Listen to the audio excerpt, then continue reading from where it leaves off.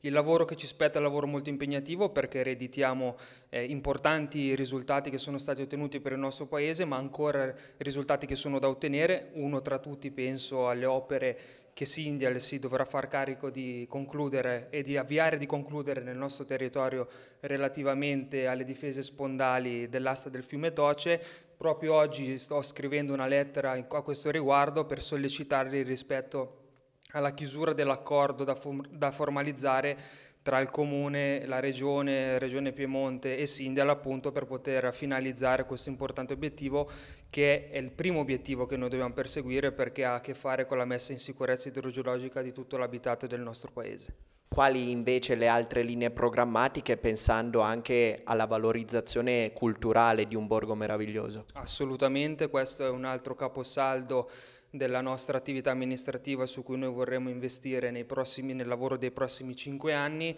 Eh, su questo abbiamo voluto cercare di legare tradizione e innovazione, nel senso che noi immaginiamo che sia di fondamentale importanza riscoprire le proprie origini e la propria identità culturale e storica, per questo abbiamo intenzione di promuovere anche un lavoro di ricerca sulla storia di Vogogna, eh, da legare però è necessario il tema dell'innovazione, per cui anche per quanto riguarda la promozione turistica del nostro borgo, rimanere all'interno dei circuiti che già ci vedono presenti, penso ai borghi più belli d'Italia, ai borghi sostenibili, ma anche cercare di entrare in nuovi circuiti di promozione, penso al tema eh, della, del turismo lacustre che forse in Ossola ancora è po troppo poco sviluppato, cercare quindi di riportare le persone che già oggi sono sul nostro territorio e che magari non sanno quanto è bella Vogogna e quanto, di, di, quanto ha da dare anche dal punto di vista culturale delle, delle bellezze paesaggistiche.